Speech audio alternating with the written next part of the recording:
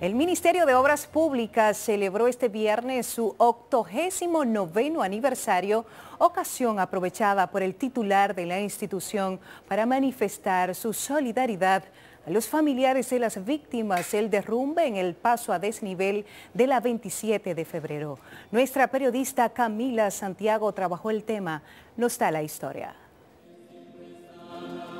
De esta manera inició la misa para celebrar el aniversario número 89 del Ministerio de Obras Públicas y Comunicaciones. La ocasión fue aprovechada por el titular de la institución de Ligne Ascensión para hacer una plegaria en honor a las víctimas de la tragedia del 18 de noviembre en el paso desnivel de la avenida 27 de febrero con Máximo Gómez. A sus familiares queremos expresarle desde esta tribuna que le dé la fortaleza para poder enfrentar esas situaciones y a ellos que puedan encontrar en el Señor el descanso divino.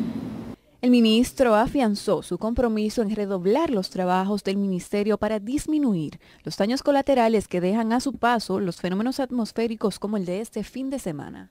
Nuestro esfuerzo, nuestro empeño y nuestro sacrificio pueda limitarlo y disminuirlo al espacio con que las limitaciones humanas nos están dadas a poder hacer. Además, como muestra de solidaridad, Ascensión informó que en la institución fueron suspendidas todo tipo de celebraciones. Camila Santiago Noticias, Telemicro.